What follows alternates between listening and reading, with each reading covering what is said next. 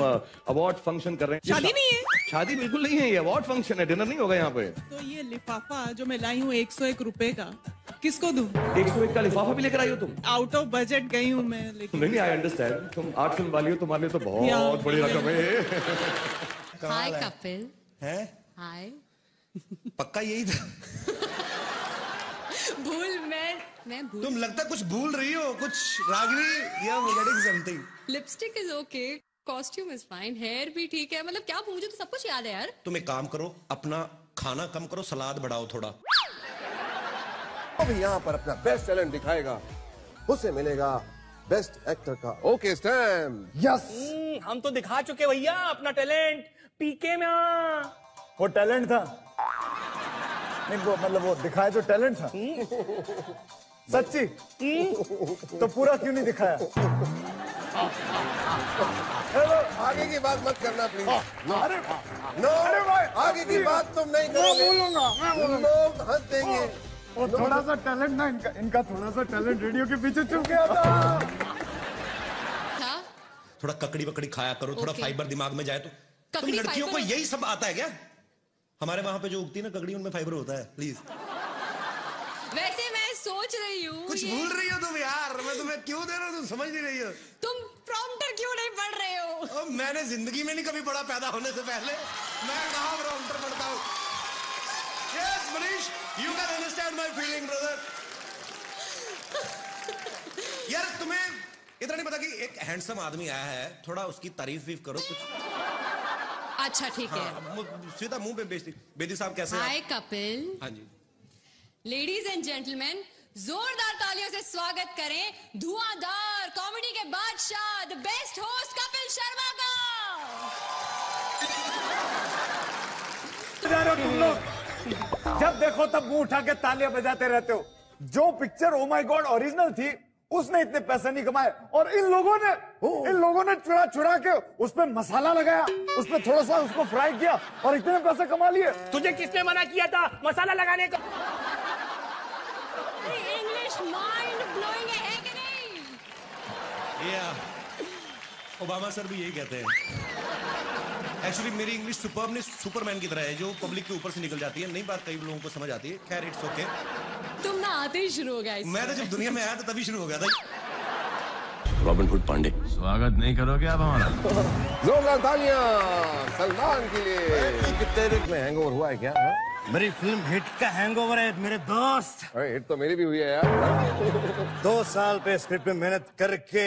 Okay. और promotion के लिए पूरे वर्ल्ड और बच्चों के बर्थडे अटेंड करने के बाद हिट हुआ।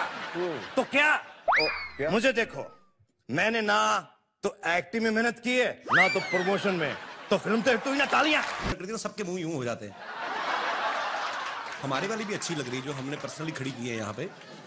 मैंने रागनी को नॉर्मली चलते हुए देखा, वैसे आम तौर पे ऐसे ही चल के आती है लेकिन जब अवार्ड फ़ंक्शन में एंट्री लेनी होती ना, ये पता नहीं सबको क्या हो जाता थोड़ा सा लहंगा उठा के ना।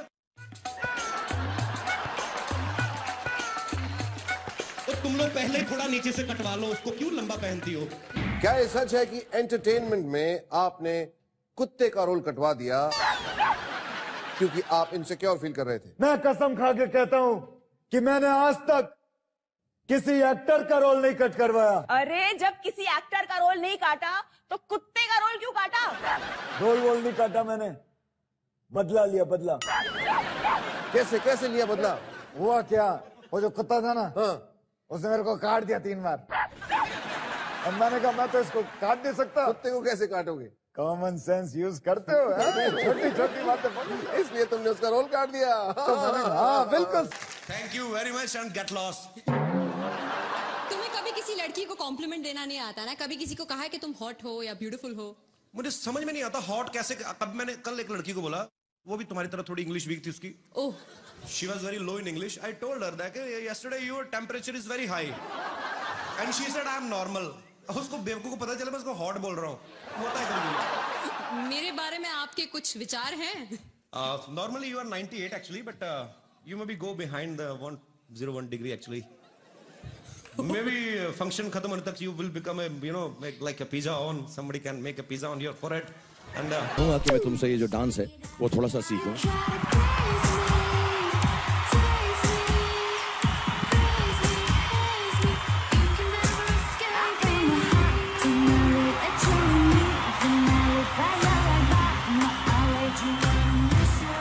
आमिर आप ये बताइए कि आपने पीके के पोस्टर का आइडिया कहीं से चुराया है? आ, नहीं। हाँ? लेकिन न्यूज़पेपर में तो आया था वो जिसका पोस्टर आपने कॉपी किया था वो भी लगाई हुई थी फ़ोटो वहाँ पे। हाँ लेकिन वो मैंने पहले देखा नहीं था। हाँ देखा नहीं था तो फिर ये फिर ये पोस्टर का आइडिया आया कहाँ से? हम्म? यू नो हम लोग राजस्थान में शूटिंग कर रहे थे और बड़ी गर्मी थी। और यू नो इतनी गर्मी थी कि मैं बिना कपड़े पहने रेलवे लाइन के किनारे पहुँच गया यू नो फ्रेश होने के लिए। यू नो टाइम पास के लिए मैं अपने पास रेडियो भी ले गया था। और फ्रेश हो ही रहा था। इतनी देर में एक देशभक्ति की एक गीत उस पर आ गई रेडियो पे। और रिस्पेक्ट में मैं यार खड़ा हो गया। तभी यार किसी ने यार वो फ़ोटो खींच के पोस्टर बना दी यार। यू आर जस्ट ब्यूटीफुल यार। क्या बात है? Thank you Kapil. तुम तो सीरियसली मेरी तारीफ़ करने लगे। मैं तो ऐसे ही मज़ाक से पूछ रही थी यार। अच्छा मज़ाक भी तुम करोगी है? मैं क्या बड़ा पाव खाने आया हूँ यहाँ पे? मज़ाक भी अब सारा कुछ यही करेंगी अब। जहाँ तक मेरा अंदाज़ा है अंदाज़ा बड़ा लगाते हैं इंडिया में तुम लोग। यहाँ होस्ट करने आए हो। हाँ तो वो चल रहा है। वो देखो भाई साहब अच्छा ये देखो आपकी बेटी है आपकी? है? बीवी को क्यों नहीं पकड़ाते? शादीशुदा आदमी देख ला बच्चे पिला। और बीवी भी, भी मैं मैंने देखा है एक दो साल तक ही बच्चे को संभालती बाद में पति की गोद में बिठा देती लो तुम्हारा भी उतना ही हाथ है इस साजिश में। एनीवेज अंदाजे की बात चल रही थी। हमारे हिंदुस्तान में लोग अंदाज़ा बड़ा लगाते हैं। घर में चार चार घड़ियाँ पड़ी होती फिर भी सोच रहे होते यार साढ़े नौ लगता हो गए दियार बाती खत्म हो गया है। सभी घरों से हंसने की आवाज़ आ रही लगता है कॉमेडी नाइट से कपिल शुरू हो गया। ही जब कोई और प्रमोशन नहीं करता तो हम लोग खुद प्रमोशन करने में विश्वास रखते हैं। Thank you so much for your love and support okay lights action sir ये हाथ इतनी देर यहाँ मत रखिए। मंदिर के पास ये स्टूडियो सॉरी कौन कम वक्त बर्दाश्त करने को पीता है? हुँ? हम तो इसलिए पीते हैं कि यहाँ बैठ सकें। तुम्हें बर्दाश्त कर सकें। हाँ, no no no no no no no no no no ये ये ये ये मेरी बर्दाश्त से बाहर है क्यों क्योंकि ये मेरा डायलॉग है कोई ना तकलीफ़ कोई ना तकलीफ़ जहाँ से मैं देख रहा हूँ बाबूजी मुझे तो कोई भी तकलीफ़ दिखाई नहीं दी?